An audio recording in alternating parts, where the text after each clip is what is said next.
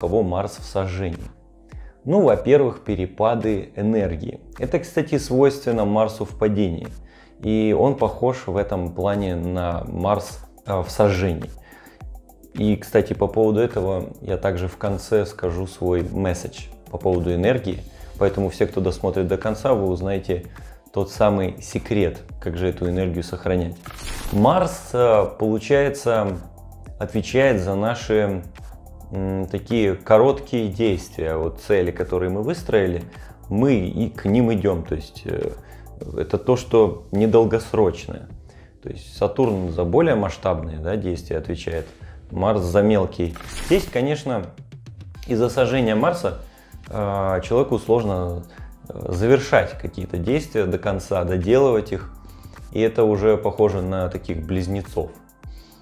Ну, вот это их такое качество, и вот Марс сожжения его приобретает. Также у нас э, есть эмоциональная составляющая. И даже если у человека Марс в хорошем положении, в хорошем доме, то его сожжение, э, особенно в периоды Марса, вызывает ну, такой всплеск э, эмоциональный. Я бы не сказал, что это конфликтность. Просто человек трудом контролирует свои эмоции и чувства, и ему сложно их понимать и их планомерно выражать. Поэтому конфликты в том числе, но это не является основой здесь. То есть имейте в виду, это не значит, что вы сразу все там всех будете веселить, да, своим Марсом. Дальше, либидо сексуальное. Это заблуждение, да, которое часто пишут, что вот сразу там что-то происходит с потенцией. Наша потенция, она не связана только с физиологией.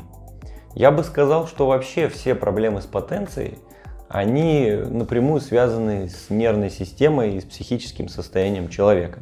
Поэтому здесь, если вы не контролируете свою энергию, вы перерабатываете, либо в лень впадаете, это как раз эти грани Марса. У вас э, чувство страха, Марс сожжение вызывает его, он уже не такой уж и воин.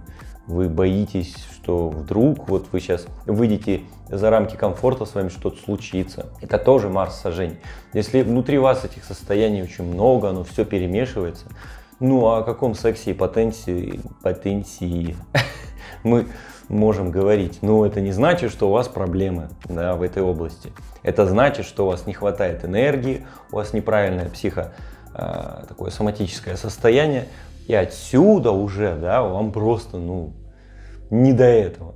Поэтому это, в принципе, связано уже не с Марсом, это можно связать и с пораженной Луной. Да, это также легко можно заметить у Меркурия, если он в сожжении либо в падении потому что у человека, ну, блин, всю энергию забирает интеллект, его мысли, и у него просто не хватает энергии на другие вещи. То есть Марс отвечает за распределение энергии. И в принципе а, физиологически человек не понимает, как их распределить. Но огромное количество энергии у нас сжирает интеллект. Почему я говорю тоже про Меркурий? То есть она везде распределяется, на уровне физики, на уровне ума, на уровне интеллекта. Есть прана, энергия души. То есть все это разные энергии. Поэтому с Марсом в сожжении также возникает лихорадочность. Вы начинаете ускорять время, вам нужно быстрее. А, несетесь вперед паровоза. И не чувствуете вот эту синхронизацию со временем. Вы постоянно чуть-чуть вперед. Вы можете сначала сказать, потом подумать. Такое тоже бывает. Это для тех, кто его не проработал. То есть, может быть, у вас уже прошел период Марса большой, вы его поняли, осознали, у вас это ушло.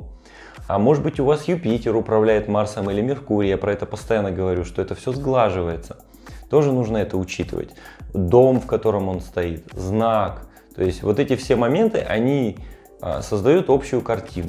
Поэтому, чтобы Марс был в порядке, вам в первую очередь нужно э, исследовать свой источник энергии в карте. Это в зависимости от того, где Марс стоит. От чего вы получаете кайф, от чего вы наполняетесь.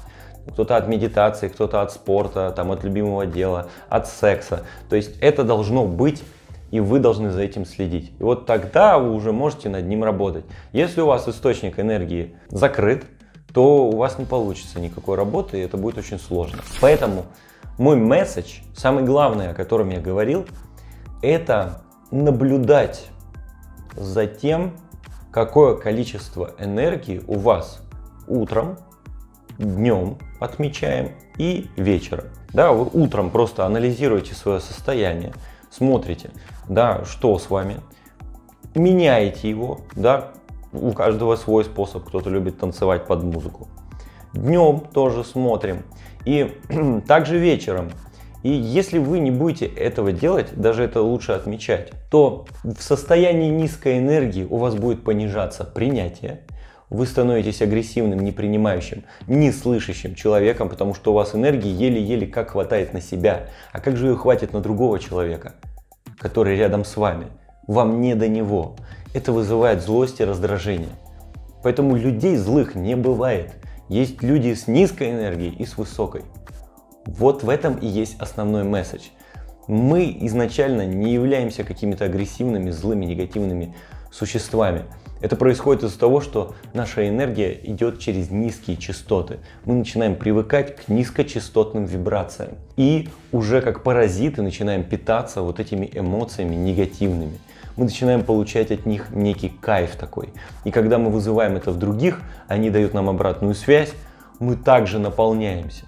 Ну, получается, что работают вот эти нижние чакры. И да, это тоже один из способов, провокация многие люди становятся знаменитыми благодаря этому.